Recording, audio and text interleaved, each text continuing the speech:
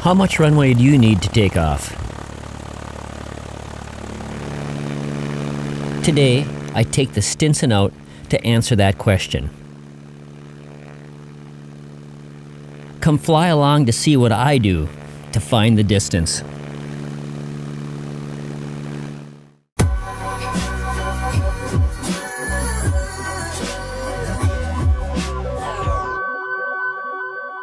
Aviation, the way it was meant to be.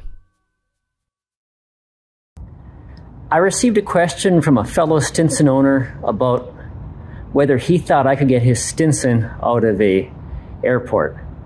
And I'm not going to tell someone whether they can get their airplane out of a uh, out of an airstrip. But you know, it brings up a good question. How do you know if you can get your airplane out of an airstrip? Well, today I'm going to show you uh, how I've figured out whether or not I can get this airplane out of a uh, airstrip or a landing zone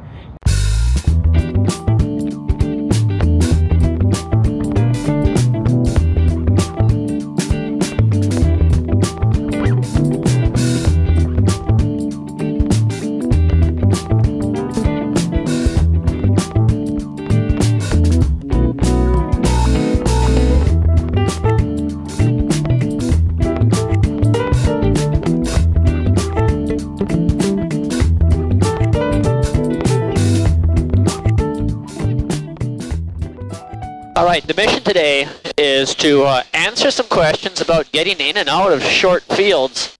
We're not going to do it at a short field because I have uh, wet grass and, and just not a, a good time of the year to be running off field here. We had snow, it melted, it's mushy.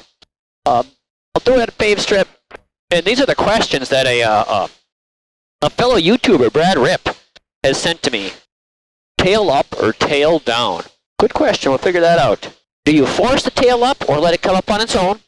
Should I use takeoff flaps on takeoff or should I pull flaps and then set takeoff flaps?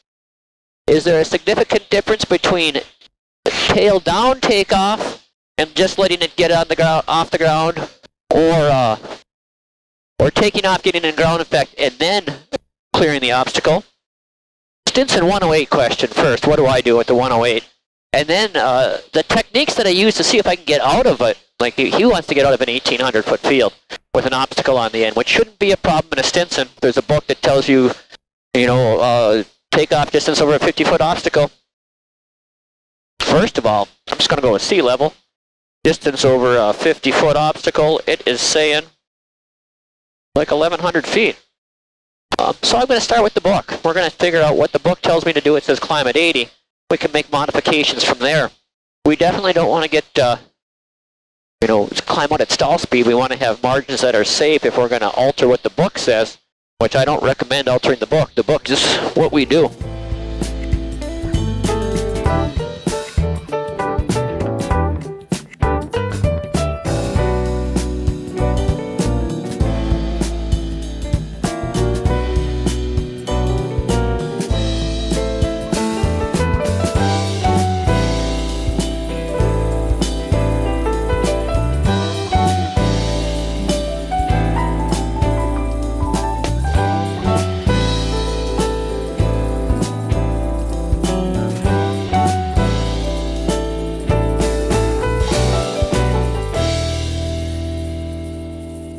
Sitting here on the uh, on the line. I'm going to use the short field style, and I'm going to uh, apply full power. I've got it. Release.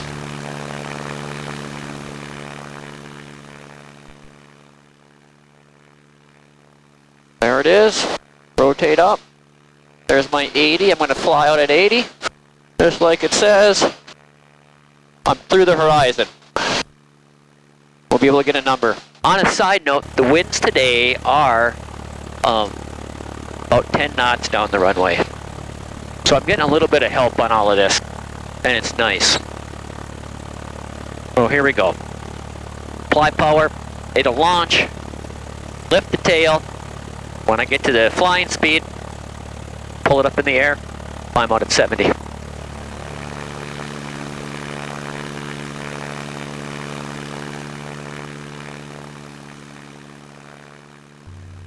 This experimenting technique can be used in any plane to verify the book takeoff distances and to figure out pilot minimum distances.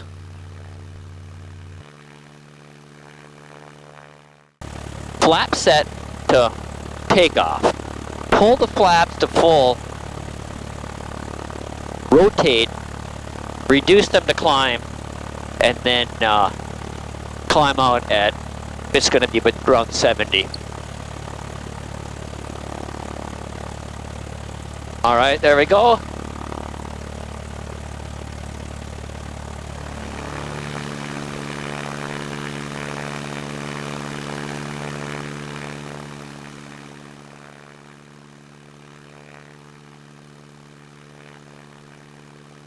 I'm out at 70, clear of the trees. That was by far the quickest. I was up before the end of the numbers on that.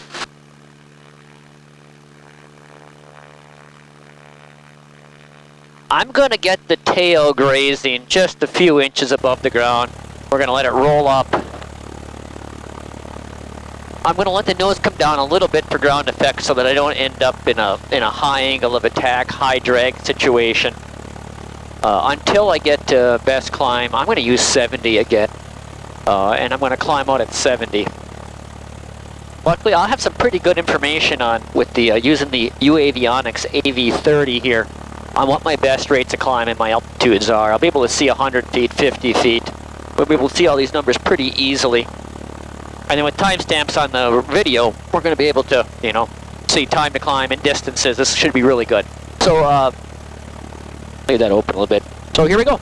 This one's going to be full power. And just let it kind of roll out. In the ground effect.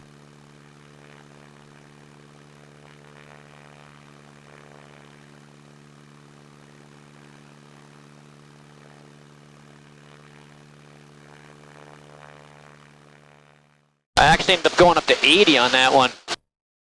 We're out of here. Hopefully, uh, I hope that answers our questions here, Brad. We'll run the videos, we'll find out, and then we'll have, uh, we'll know.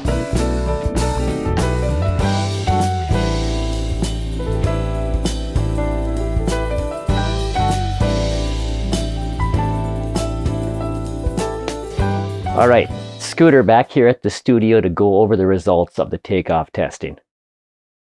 And the conditions on the day, we had 48 degrees, 10 knot headwind, 140 knot density altitude. I was flying a Stinson 108-2 with 165 horsepower, loaded to 1720 pounds, was flying a 49 pitch prop. I did multiple takeoffs of each style and have averaged them I showed the best results for each in the video.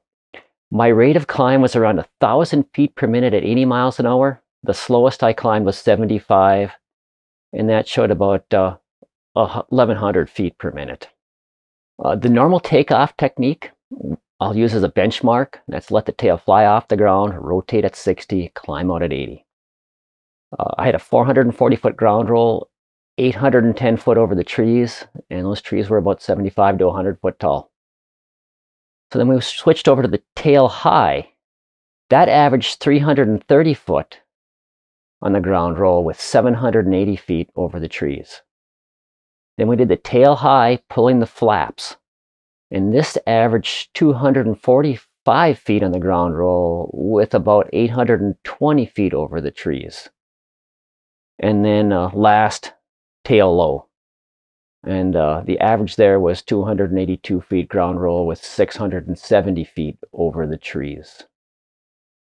No, just a couple comments. The tail high uh, was short over the treetop. And I think it's because the plane was fast enough that there was no need to accelerate after you got into the air. The asphalt helped out here. I'm not sure on softer fields uh, that would be the case. I also misjudged the takeoff and bounced the tail on one. This skewed the results quite a bit. Uh, the average without that takeoff was 290 feet on the ground roll and 690 feet over the trees. Didn't change its position in the listing, but it's a downfall of that tail high technique. If you pull early, it's going to increase your ground roll. Uh, tail high with flaps was great on the ground roll. Uh, up to the trees, it was a little longer. And maybe that's because you need to accelerate in the air and the movement is a bit more complex in the flight deck, causing pilot inefficiencies in the first 100 feet or so. I was surprised how much shorter the ground roll was, and then it turned out to be the longest over the trees. So it's great for a STOL show, um, though this might not be the case on soft fields. It might work well where uh, acceleration on the ground isn't as quick as it is on asphalt. And then tail low. Uh, this was the most consistent with the ground roll within five feet of each other. And also it was the most consistent over the trees with the shortest average. It doesn't feel like you're doing well as the controls are sloppy off the ground. Yet in the end, it was the most consistent and it worked really well. Where does this leave me as a short takeoff? Well, uh, I'm not going to take off with trees 800 feet in front of me and just run my wheels through them. Uh, you need to add a, a margin of safety. Uh, 50% is, I consider, a minimal margin. So with my airplane, I see I'm somewhere between seven and 800 feet. I'll go to 800 feet, uh, add 50% of that, and then uh, on a cool day with a light headwind, I might consider 1200 foot uh, over the trees. You know, if I had a takeoff roll of 1200 feet and I had to clear some trees, realistically, 14 or 1500 would be my number with the Stinson on a cool day with a light headwind, loaded to about 1700 pounds. Uh, while we can figure out the minimum distance, we always have to put margins in for safety. All right. I hope this helped. And, uh, and thanks, Brad. If you have any comments or questions, please leave them below. And again, thanks for watching the video. I think I answered all those questions for Brad.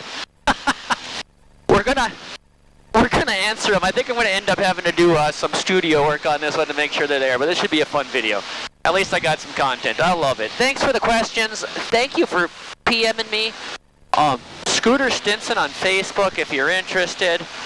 Um, you know, I'm always looking for ideas. Leave it here in the comments on the on the video. If you have an idea for a video or there's something you want to know, I might not know the answer. As in this case, I had some suspensions and I've got some numbers, but go out and try it. And I, I would love to try it for any one of you guys. If you want to know something about how, the, how these airplanes fly, um, I, it doesn't have to be Stinson specific, but what's going to work the best, you let me know. I'll go out and I'll tell you how it works for this airplane. Um, I'm always looking for a reason or an excuse to go fly.